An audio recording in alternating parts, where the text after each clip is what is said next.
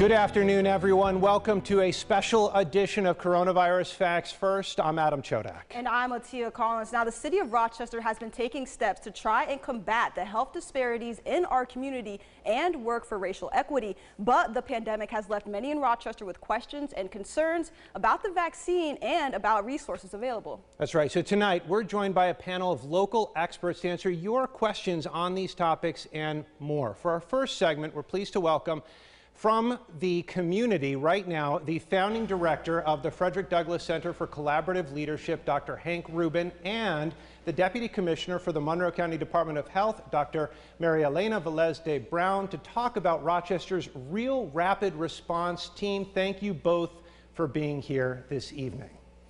Dr. Rubin, I want to start with you, and let's get the basics out of the way. For those who don't know, what is the RRRT?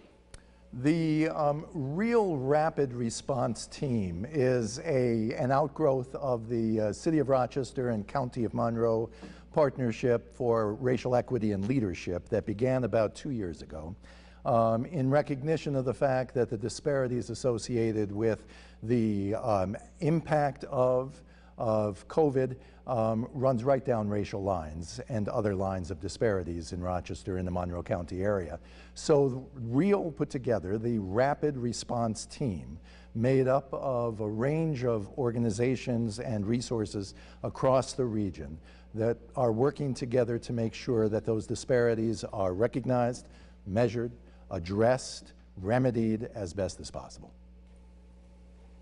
question is for Dr. Velez de Brown, excuse me, Velez de Brown. Dr. de Brown, how has the program helped in the coronavirus pandemic? Well, this program has been instrumental in helping us to address those disparities that Dr. Rubin mentioned. Um, we do have some data that does explain the fact that this equity work is important because we've analyzed the numbers having to do with the cases of COVID in our county, and the data do show significant disparities. When we look at a comparison of the rates of COVID cases, um, in our county, we do see that African American, Latino populations have carry a disproportionately high burden in terms of cases. Um, even though our county population is 70% white. Um, and that disparity carries through to hospitalizations, where um, African Americans have four times higher rate of uh, hospitalization due to COVID compared when we compare the data across racial and ethnic lines, and even when we look at death data um, still African Americans, Hispanics have a disproportionately high percentage and, and proportion of the folks who end up dying of COVID 19. Uh, so this work is helping us to get information out to communities that are hard to reach at times. This is helping us distribute protective measures such as masks, and now it's critical uh, to distribute vaccines so that we can protect all of our community members, but especially those that have been hardest hit by this epidemic. And we're going to get to more on this in a moment, but Dr. Velez de Brown, I want to stay with you for just a moment. For those listening and thinking to themselves, you know, I haven't gotten the vaccine yet, what resources are out there for them so they can get it tomorrow, next week, as quickly as possible? Yeah, so there are a number of different locations where we are bringing vaccine out into the community. Um, there's certainly uh, numerous agencies that have received vaccination in people's backyards, so sometimes in their pharmacies. The county certainly has uh, the Rochester Riverside Convention Center, which is ready and able uh, to accept many more uh, patients than we're currently seeing at the moment. Um, but there are also a number of different churches in the four quadrants of the city of Rochester where we have a schedule already prearranged of when our teams are working together to bring the vaccine out into the community so that we can overcome barriers of transportation and other barriers that keep folks from getting their vaccine. Very good. This next question is for Dr. Hank Rubin. Dr. Rubin, your work with the Frederick Douglass Initiative has allowed you to really take a macro view of our community. And I've heard from several medical experts that this pandemic has shed a light on the disparities within the healthcare system. But I'd like to ask you for your take, some of the observations that you've had over the last year. The disparities play out in all sorts of ways. We're um, we face disparities in access to uh, resources, uh, healthcare resources. We uh, face disparities in um, um, access to information.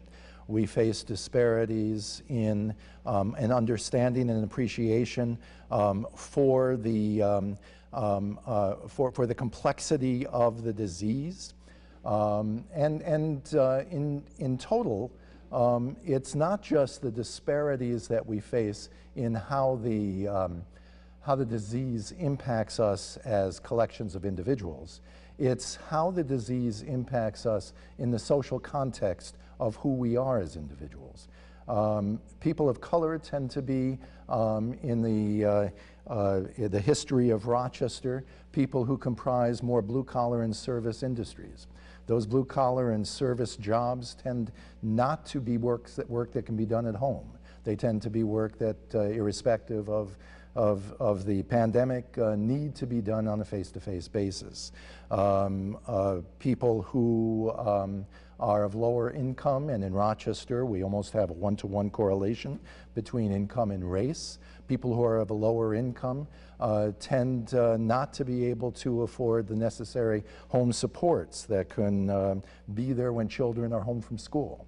And it creates all sorts of complexities in regards to the capacity to support the family.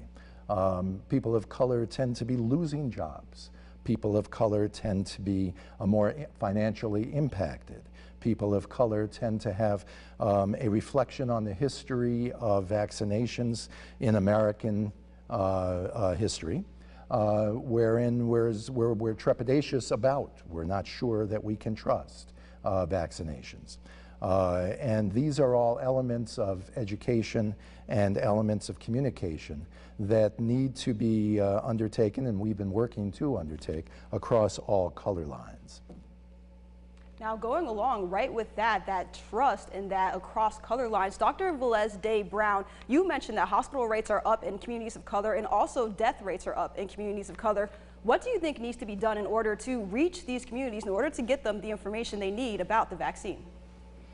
Yeah, so we know from other areas of health, other um, disparities that we see in all kinds of disease states, um, that critical important information that is reliable needs to be transmitted to communities from a trusted source. It needs to be explained in terms that people can understand, and it needs to be presented in lots of different ways and multiple times so that folks can really have a chance to have their questions answered, uh, think about why is it so important for me to get vaccinated? Why is it so important for me to continue to wear my mask and wash my hands and go get tested for COVID-19? Um, those messages need to be repeated frequently so that folks can continue to do the work that we all need to do in order to address this pandemic. This is not the time for people to get um, a little bit comfortable, a little bit lazy about wearing those masks and um, engaging in that social distancing. Um, doing, engaging in all of these behaviors is really what we need to do in order to get to the point where we can overcome this pandemic and getting information about the fact that these vaccines are safe, that they're effective, that they work in communities of color, that communities of color were included as vaccine trial volunteers. So we know that these vaccines are effective and they can protect folks from getting sick from COVID, from being hospitalized, or from dying from COVID. All of those messages need to be broadly disseminated through um, TV and radio, and also from folks that people trust, whether it's their pastor, whether it's a neighbor that's already been vaccinated, whether it's family members who have lost a loved one to COVID. We really need to exploit all of these modalities so that we can get folks the information that they need. Okay, Dr. Velez de Brown, thank you. Community engagement and spreading information seems to be the key points. Coming up, we'll have more of our community conversation on race and equity in Rochester when we come back.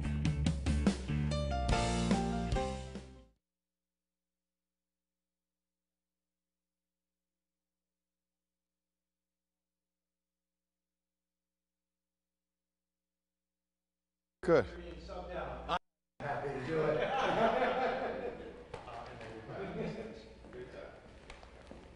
Are you? All right. and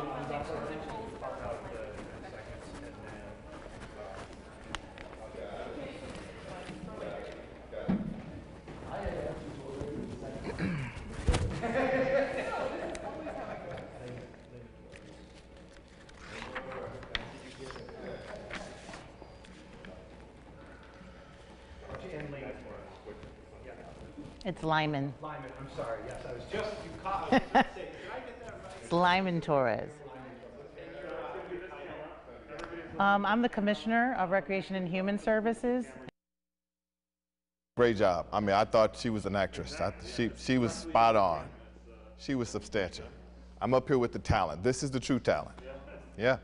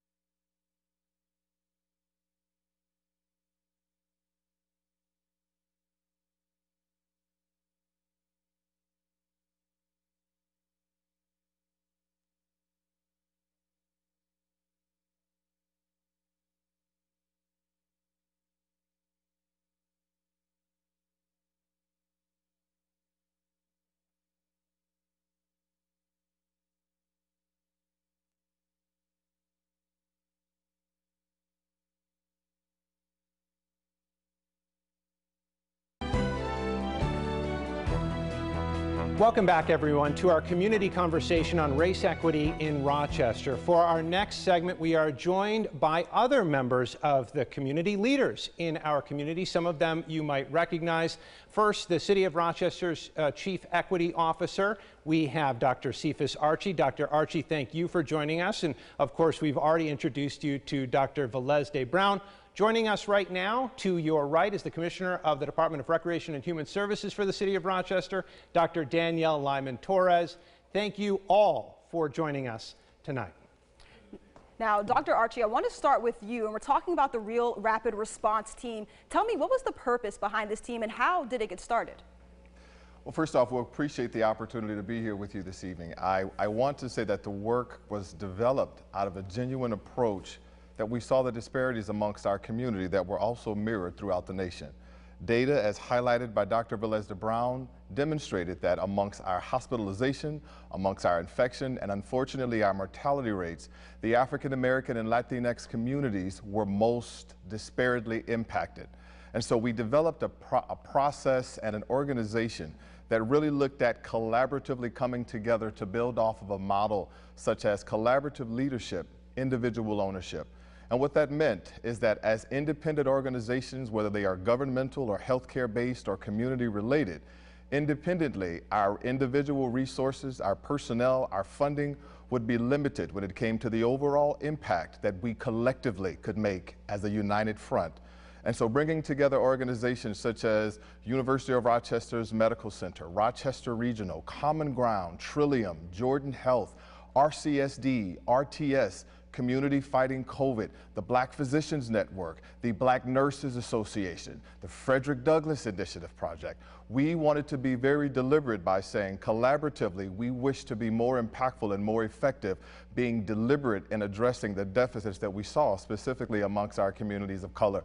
With that very same tenacity, with that very same focus, for the last year, we have demonstrated our ability to bring together opportunities that are directly targeting these populations.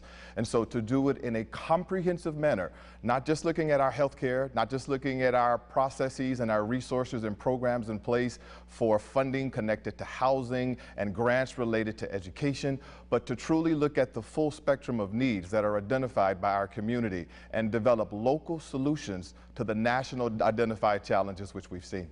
Dr. Archie, thank you so much. We'll be coming back to you momentarily, but first we're going to move over to Dr. Lyman Torres. Dr. Torres, many of the facilities in Rochester are being used now to help with the vaccination effort along with the testing effort. A lot is being asked of your staff. First, before we get to any specifics, how is your team doing trying to handle all of this? Well, our team is, you know, has been on the front lines of supporting the community throughout the pandemic response. Um, our team has been out handing out food um, since the since day one, um, supporting families and children with remote learning.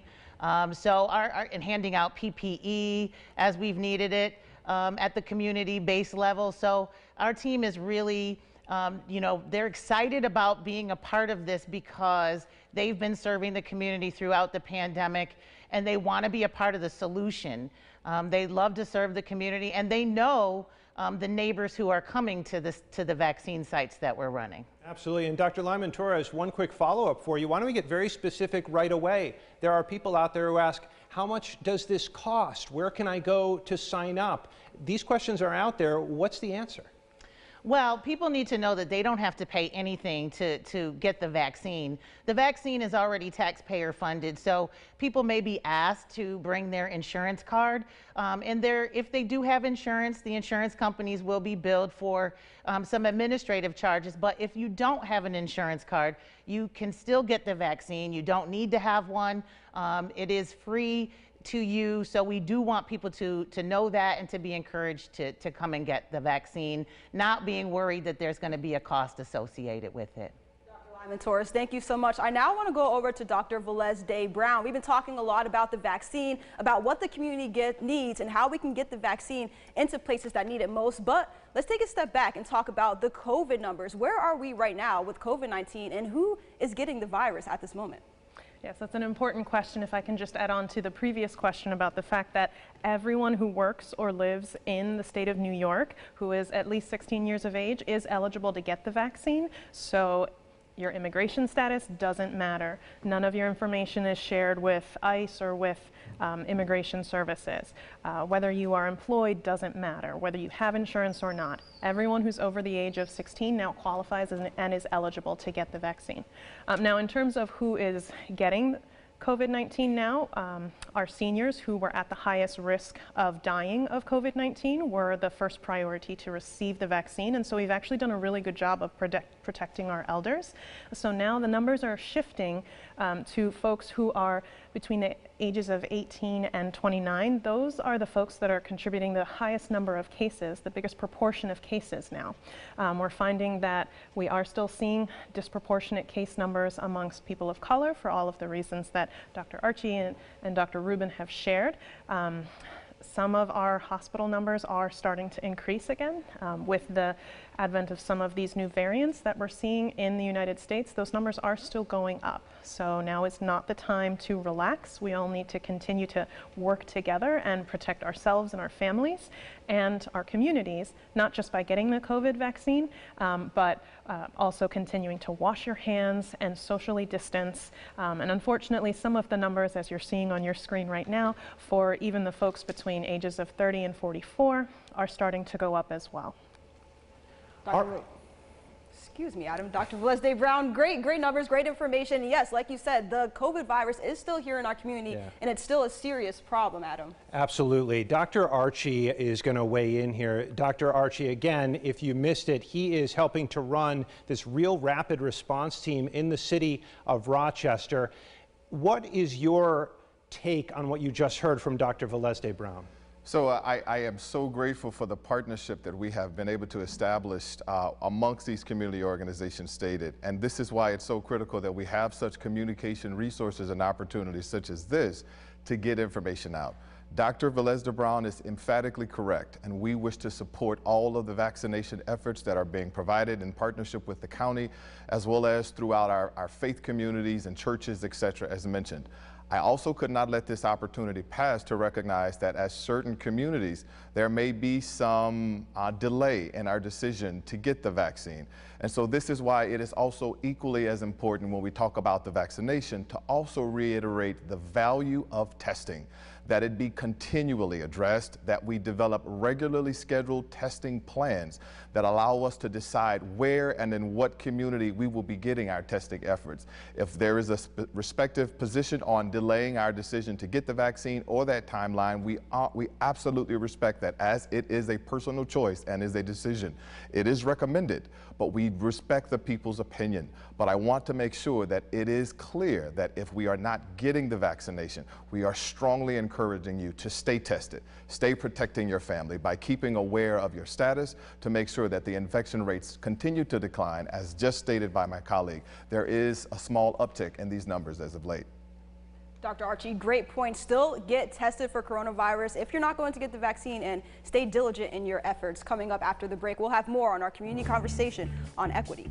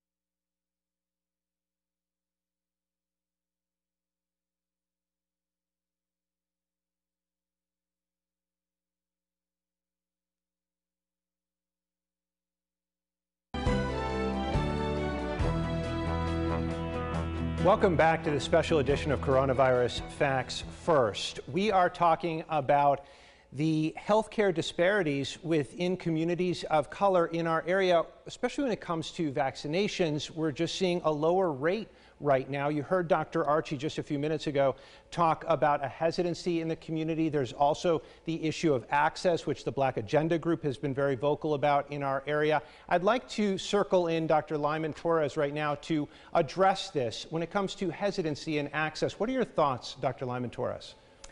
I think, you know, what's already been brought up is the, the concept of trust um, that people, you know, have to build trust um, to, to ask questions and to talk about their hesitations.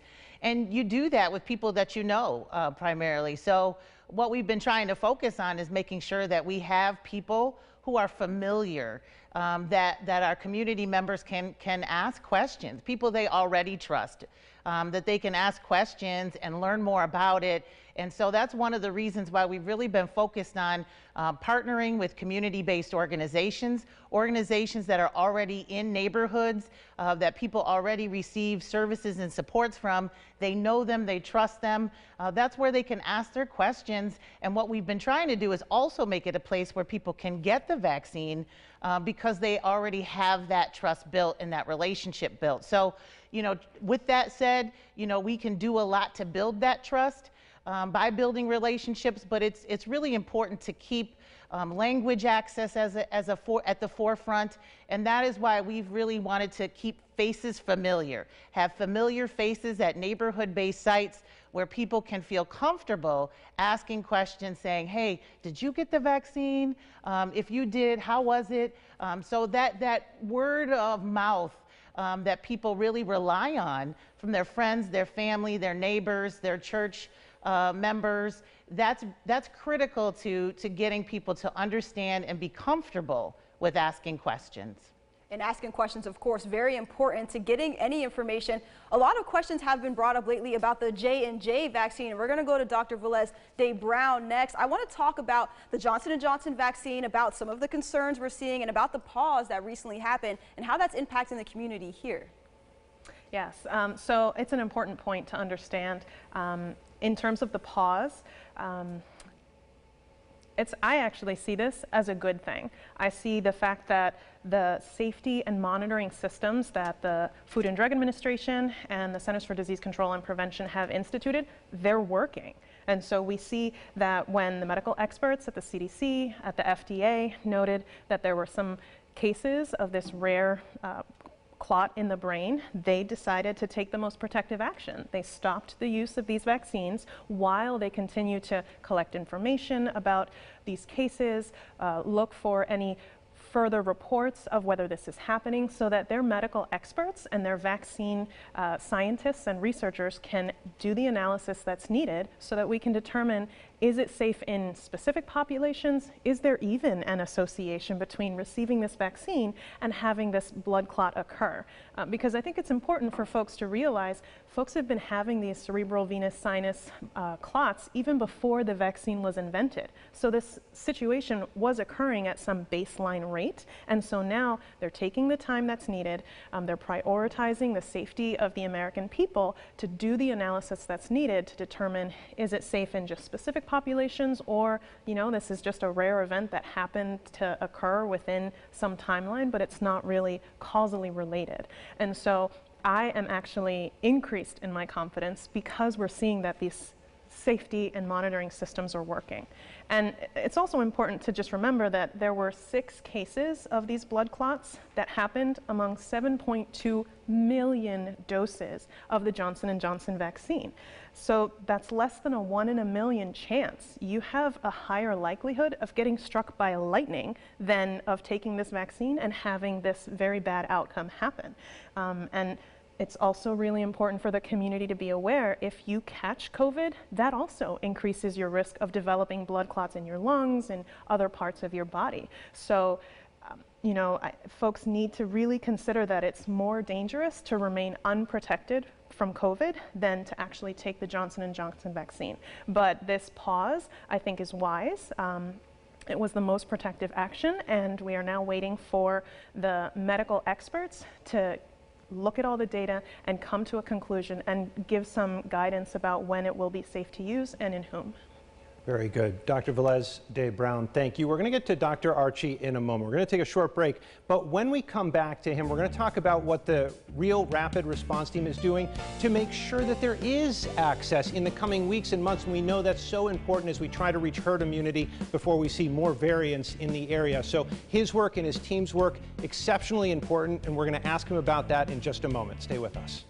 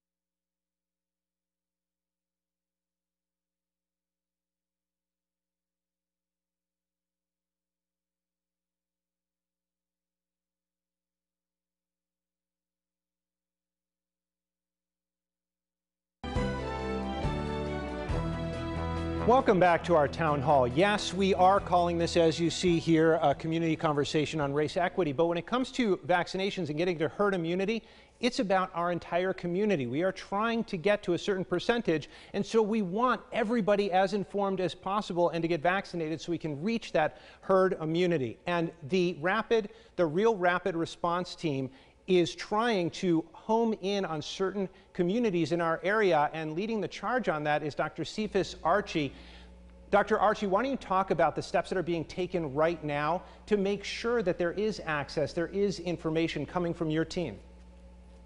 Thank you. I think it's important to, uh, to really understand the structure of the Real Rapid Response Team. We're broken down into three respective groups. One is our testing and treatment team who oversees and partners with our other City of Rochester and Monroe County structures such as the hub to make sure that we are a part of that larger work, getting these vaccinations and testing efforts into the community.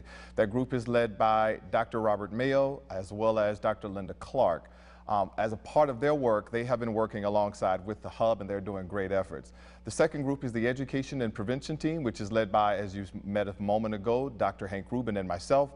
And our role is specifically to help get the information out, to support the communication avenues, the platforms, to make sure that these specific communities of color are aware of the efforts of our testing and treatment team, but as well as the support services and resources team that all work collaboratively to get these things done. The Support Services and Resources team is currently led by Tina Foster and Commissioner Wright, uh, Thalia Wright of uh, Monroe County.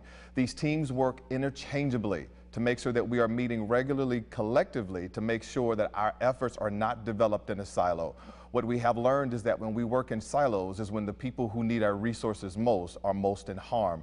And so with our efforts today, it's not only for us to communicate what we are doing specifically for the communities of color, but even more deliberately for those communities or those personnel or those leaders who are in place who may not be, who engage with communities of color, who are our, our partners in communicating these resources, the vaccination efforts, the testing efforts. And so every principal, every superintendent, every healthcare professional, every business owner who works alongside and or supports these communities of color, this program today is vital for you to serve as the conduit for getting this information into the hands and the ears of people who need it most. And we're going to look specifically about how these resources are helping those communities that need it most, starting with Dr. Lyman Torres. You talked earlier about where resources are out there in the community, but I want to ask specifically, what does this access look like? What are some of the steps you are taking to reach communities of color, to reach non-English speaking, speaking communities, and to just reach those that need it most? I think that it's important to remember that, you know, as we started the vaccination process, the supply was very low, and that low supply really amplified the disparities, amplified the inequities in terms of access to the vaccine. And that comes in, in, into play when you talk about how you even get an appointment. So when vaccines are only available by appointment, and especially when the supply was low, um, getting those appointments was, was primarily online, although there were uh, hotlines that people could call as well. And with that digital divide in place, the, you know, the, the divide around technology and internet access, um, and especially when we started out with older adults and the familiarity with the websites and using those websites to create um, appointments, that became a huge barrier. So we came together as a community and partnered with community-based organizations, organizations that serve older adults uh, as we started, such as Lifespan and others, uh, who could say, we can help facilitate enrollment for these vaccine appointments. And so we focused heavily on facilitated enrollment, creating a way for people just to pick up a phone, make a simple phone call to a number that they were familiar with, and get assistance with making an appointment. We helped people with transportation, um, schedule the transportation that is available in the community, uh, partnered with RTS, partnered with Medical Motors, and other providers who could help get people to the sites when they needed it most. And this was the equity issue. Uh, working with uh, the state and the county and talking with uh, them about where to put the FEMA site, where to put the site that is now there at the Hawkeye location, the former Hawkeye location. That was centrally located there in a zip code that still remains, um, you know, the lowest vaccinated zip code. So we really wanted to make sure that the access was there, but we also needed to facilitate the enrollment to those uh, appointments. And now we're at a point where we're even um, going to be talking about how people can get a vaccine through walk-ins. That is such an interesting point, Dr. Lyman Torres. We're going to talk more about that because we want viewers who haven't gotten a vaccine to get one as soon as possible. We're going to touch on that and we're going to get into the numbers when we come back. You saw the graph, it broke it down by age, but we have other numbers that Dr. Velez de Brown is going to talk about. Who has already gotten the vaccine? Who needs to get the vaccine? Very important information. We'll get to that in a moment.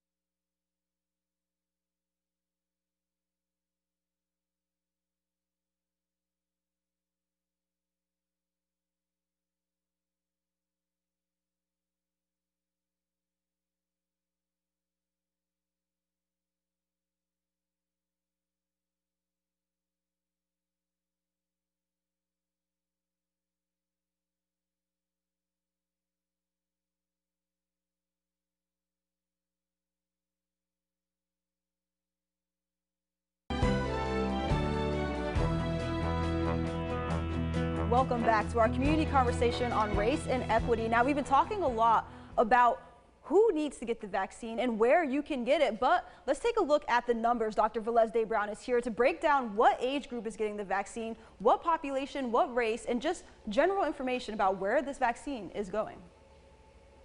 Yes. So um, early on during the beginning of this pandemic, we knew that our seniors were the, the ones that were getting the sickest. Um, and even during our peak in December, when we had our highest number of cases, it was still the elders who were uh, contracting COVID-19 at the highest rate. So since instituting the um, community vaccine locations, as you can see on your screens, now we're actually starting to see a lot of vaccine uptake amongst the younger population. And that's really important because it is now the 18 to 39 year olds who are contributing the highest number of cases in our region. Um, and so we're, we're very pleased to see um, that this population is taking advantage of the vaccine sites that are being set up in uh, their own backyard. But it is so important that all across all age groups we continue uh, to go get tested, to wear our masks when you're around anyone within six feet of someone who doesn't live in your household, to just keep washing and sanitizing your hands. Um, and so in addition to looking at the ages of folks that are coming through, we've also been able to see a, a pretty widespread of different racial groups that are coming through to the community locations. Um, so it's serving not just the communities of color, but also uh, a significant number of our white Caucasian uh, partners and, and neighbors as well. Unfortunately, the numbers are not so good when we look at the ethnic breakdown.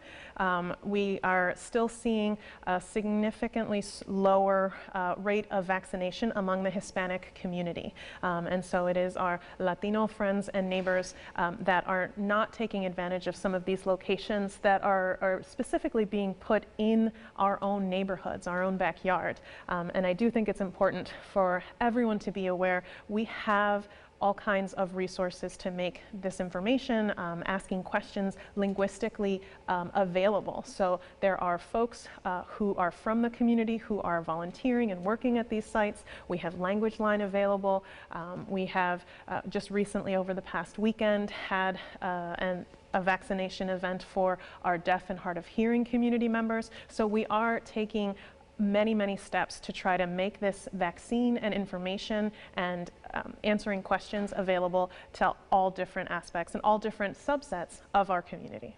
Dr. Velez de Brown, thank you. On that note about language, by the way, I do want to note that we do plan to have a Spanish translated version of this very town hall over on our website tomorrow, rochesterfirst.com. It's going to be there indefinitely. So feel free, once that's up, to share it, and hopefully it will infiltrate the Spanish speaking community so they can see all of these wonderful answers. Speaking of wonderful answers, we're going to request one uh, from Dr. Lyman Torres right now. Let's say folks are watching this and they say, okay, I've heard what I need to hear. I need to get that vaccine. Where do they go? Do they, is there a number? What advice can you give them? Well, what I can say is that there are a variety of places where you can get the vaccine today, whether that be at the Hawkeye site, whether that be at the convention center, or our neighborhood based sites. So if you have access to a computer, go to monroecounty.gov and find the, the vaccine appointment that works best for you. Uh, all those locations, buttons are right there, and people don't have to worry. There are vaccine appointments available. We also want you to call. If you don't have access to the internet or don't want to deal with that, we know that many people don't, you can call 753 5555 and someone will assist you with making an appointment or just telling you when you'll be able to walk in. So just know that you can get the vaccine at the locations that we're going to be able to put up and, and show you the calendar of places where you can go. But we also want you to know that you can still get them at pharmacies, you can get them through your physician. Um, there are many avenues that you can access the vaccine. But if you need to access it closer to your home or you want to, we have been running community based, neighborhood based clinics um, Wednesdays, Thursdays, Fridays, and Saturdays and Sundays uh, at a variety of times and locations throughout the city of Rochester. So if one wasn't in your neighborhood last week, it may be this week. So it's very important that you take a look at that. Uh, we've been holding them at churches. Uh, we've been holding them at our R centers as well as um, some of our community-based organization locations. So we encourage you to go to monroecounty.gov check that out. And if you can't do that or would like to call, call 753 5555 and someone will assist you with where to go. Dr. Lyman Torres, thank you. And appointments are available. We're going to take a quick break, but coming up after the break, we're going to talk about some of the health risks and concerns, including side effects and fertility for pregnant women.